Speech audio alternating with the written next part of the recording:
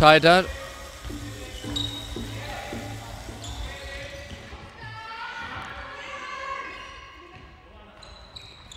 Und Oskar Golatowski kann den Ball nicht fangen von seinem Bruder. Algis holen sich den Ball wieder und Hans Wadisch kann sich erneut auszeichnen.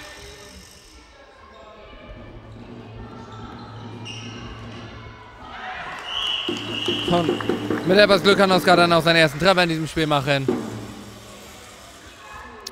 4 zu 9.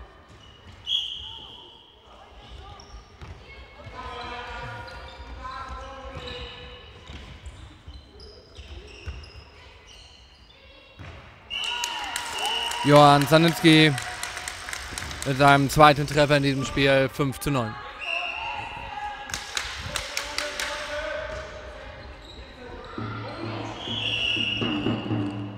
Schrittfehler entschieden von den Schiedsrichtern.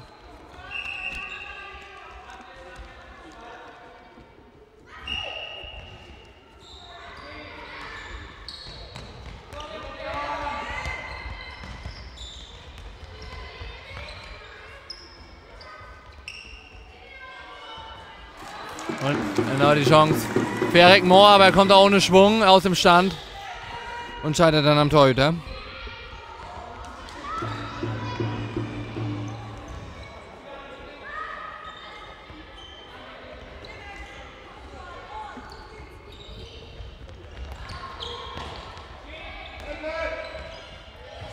Schön gespielt. Der Wurfversuch an die Latte von Jonas Helms.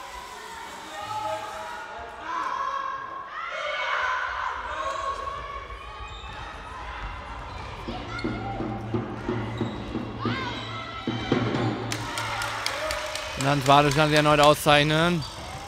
Dann war aber ein schlechter Pass.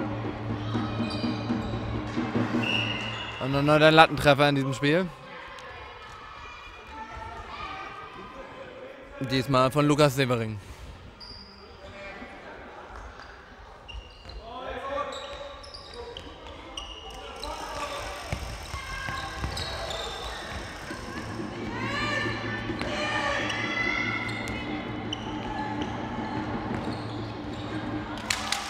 Und Hans Walisch kann sich erneut auszeichnen gegen Julian Lose.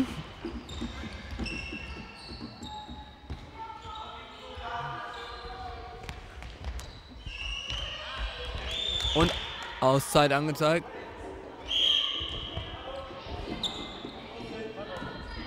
Und Auszeit äh, genommen durch die SG Banskolezen.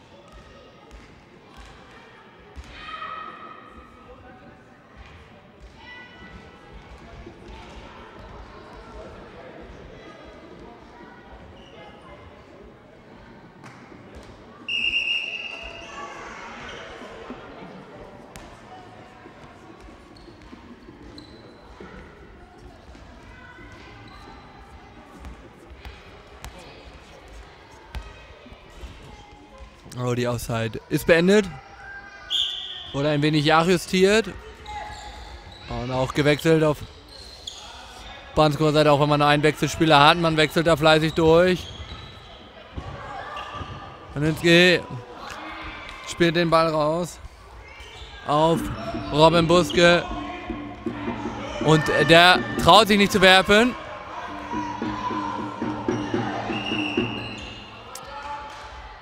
Äh, technischer Fehler. Angezeigt, es geht sofort schnell weiter. Und der Treffer für die SG Banskolezen durch Mattes Schumann. Sein zweiter in diesem Spiel. 6 zu 9.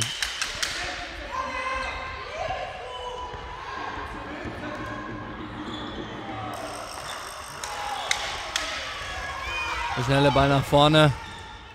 Aber Lukas Duwe deutlich schneller als sein Gegenspieler.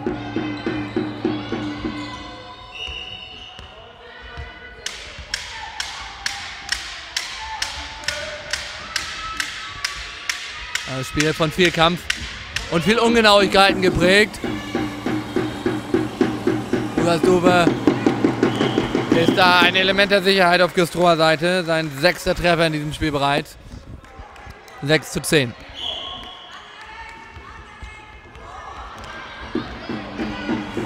Und wieder ein äh, schwacher Pass. Und der Treffer für Güstrow durch Julian Lose. 6 zu 11.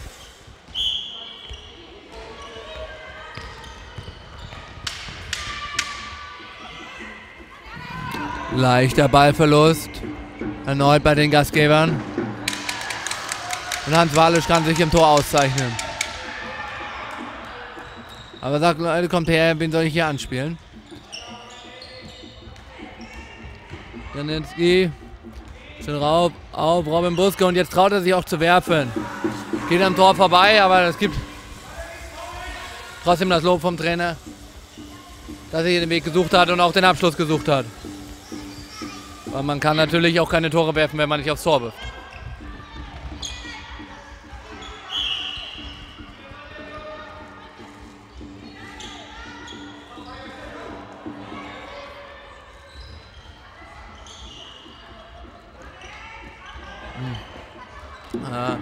Fehlpass.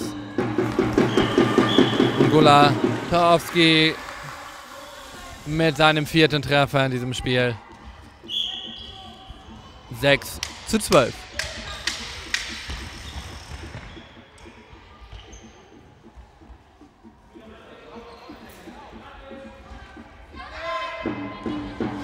Ah, das hat sehr gut gesehen von Duwe. Spielt den Ball auf. Janek Luthi, der völlig frei an der langen Seite stand.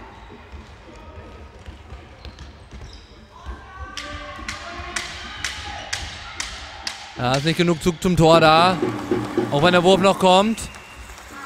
Von Erik Mohr. Da muss er mit viel, viel mehr Dampf kommen.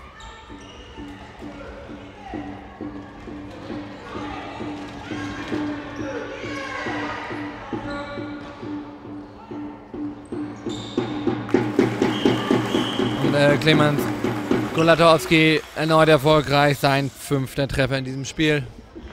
6 zu 13.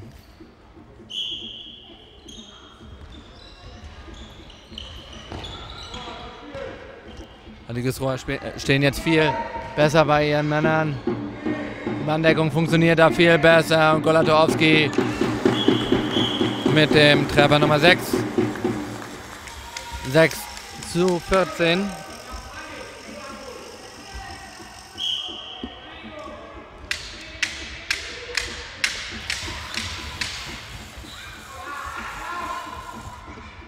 Schwacher Ball. Und wieder völlig frei, da die komplette Abwehr geschlafen. Die Abstimmung nicht gestimmt. Theo Rams mit seinem ersten Treffer in diesem Spiel. 14 zu 6.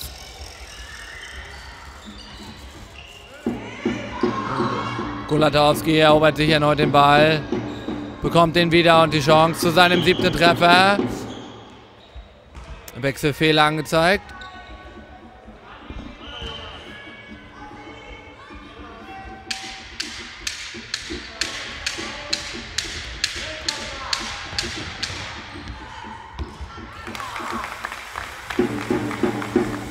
Zanetski scheitert erneut am Torhüter.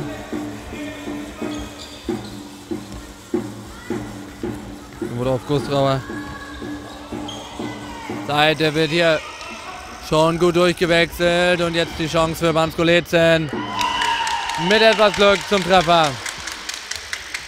Mattes Schumann mit Treffer Nummer 3. 7-14.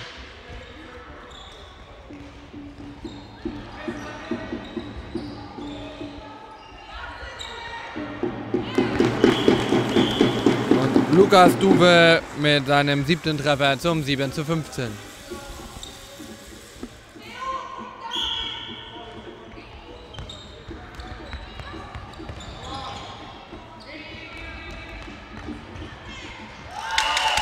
Und Sanitzky mit seinem dritten Treffer. Ganz gut, dass er auf die Eltern nicht gehört haben. Die sagten, unten er wirft oben, trifft zum 8 zu 16. Und Hans Walisch kann sich erneut auszeichnen.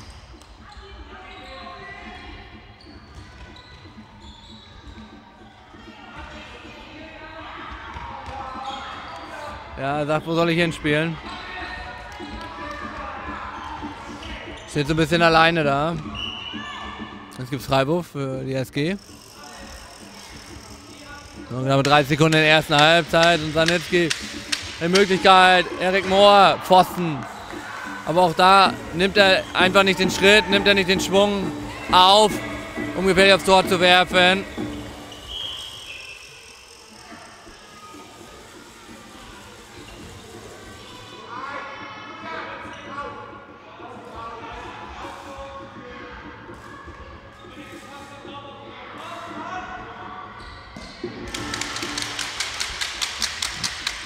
Hans Walisch kann sich erneut auszeichnen. Zanetzky. Und da ist die erste Halbzeit zu Ende. SG Wanskolezen 2 gegen die Güstrower HV 8 zu 16.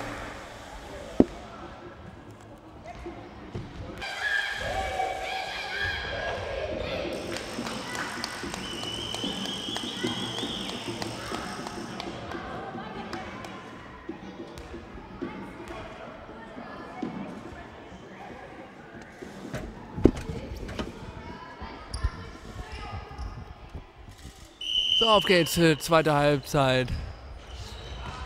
Der SG Banskolezen 2 gegen den Güstrower HV.